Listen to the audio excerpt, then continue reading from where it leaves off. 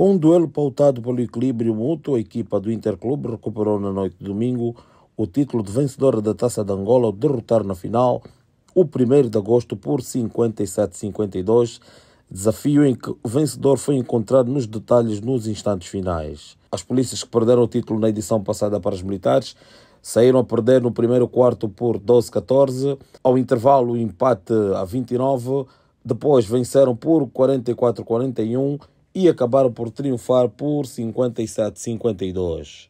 As duas equipas voltam a jogar agora para o Campeonato Nacional a partir da noite de terça-feira, também aqui no pavilhão da Cidadela.